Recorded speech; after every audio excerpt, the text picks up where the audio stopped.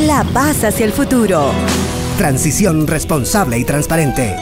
La Secretaría Municipal de Gestión de Riesgos atendió el derrumbe de un talud que afectó el patio de una vivienda en la zona Germán Jordán de Villa Armonía. Lo que estamos haciendo es reducir la magnitud de cualquier derrumbe, porque si no reducimos el impacto puede ser eh, también de, de grandes magnitudes. El alcalde Omar Rocha confirmó que la comuna iniciará la construcción de un condominio para albergar a damnificados de futuros desastres.